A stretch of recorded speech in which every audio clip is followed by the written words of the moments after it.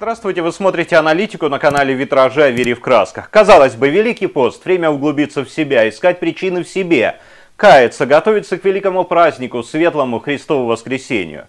Но нет покоя раскольникам, не дает им покоя лукавый. Да, впрочем, их сребролюбие идет перед ними. Захватили, к примеру, храм в селе Припутни Черниговской области – Секретарь Нежинской епархии протарей Валерий Дашко рассказал, что сторонники раскольнической организации ПЦУ прибыли в село перед началом воскресного богослужения. В 7.45 настоятель, который живет возле храма, увидел, что съезжаются автомобили. Приехали сначала три, затем еще четыре авто, а также несколько микроавтобусов. По подсчетам прихожан привезли порядка 20 молодчиков.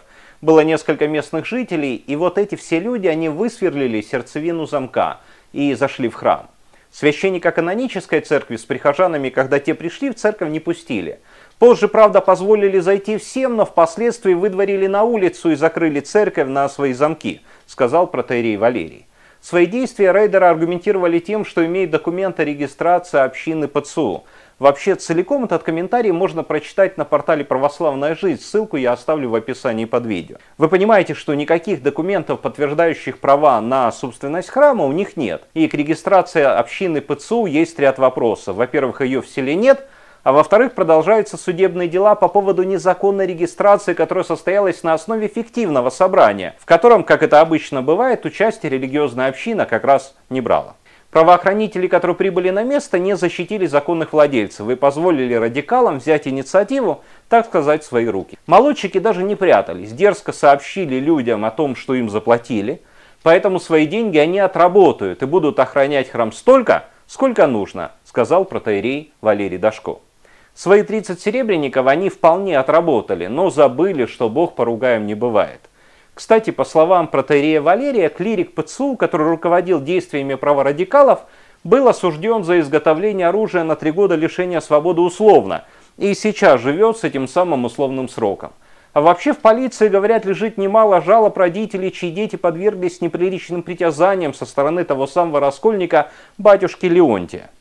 Но это еще не все. Понятно, что раскольники в своих, так сказать, СМИ рассказали об очередном переходе – и дали там некоторые неожиданные подробности. Называющий себя журналистом Василий Чепурной написал в своем фейсбуке о том, что сразу после захвата у них прошла служба, которую возглавил некто Сергей Чечин, судя по всему, местно раскольничий благочинный. И даже табличку на храме сменили, фото смены таблички разместили и фасад храма захваченного тоже показали. А вот фото службы нет, ни единого снимка, ни у горе-активистов, ни у этого так называемого журналиста – и как вы думаете, почему? Да потому что явно не хотели показывать пустой храм. Ведь не первый это, который захватили, вынуждая верующих молиться на улице, зато сами остаются в пустом храме и не служат, хотя и захватили, и верным канонической церкви не дают. Но прихожане УПЦ не сдаются и молятся везде, где могут, даже на улице. Например, как верующие из села Деловое, что на Закарпатье. І ми почали зразу будувати свій храм.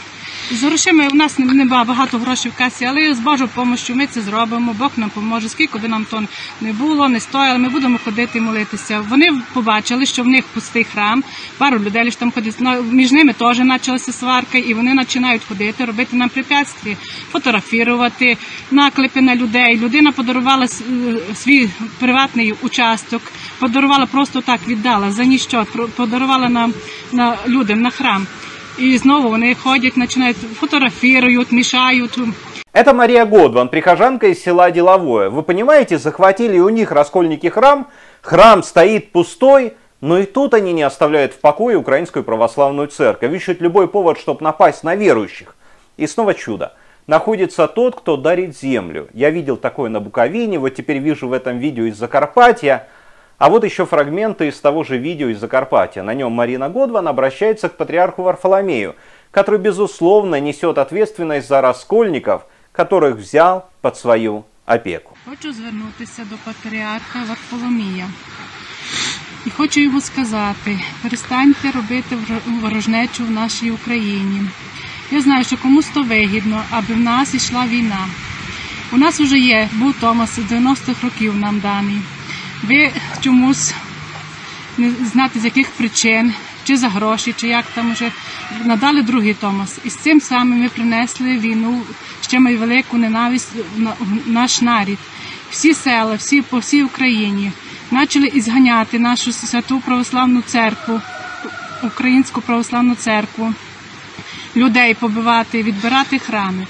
У мене одне запитання: якщо вони так хотіли створити і створили собі другу церкву, то чому не будують свої храми, а забирають храми від людей, які люди ходили и молились. Резонный и понятный вопрос, да, заданный в простоте, но мы видим искренность нашей сестры во Христе.